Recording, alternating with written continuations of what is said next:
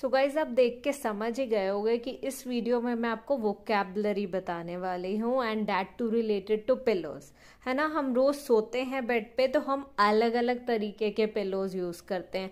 But हमें पता होना चाहिए कि किसका क्या नेम है। सो फ़र्स्ट ऑफ़ ऑल आपको ये जो दिख रहा है लॉन्ग रेक्टेंगुलर सा पिलो दिख रहा है, इसे हम बोलते हैं pillow which we use for sleeping है ना? इसी तरीके का पिलो यूज़ करते हैं rectangular then there is a small cushion सा, यहाँ पे येलो कलर का।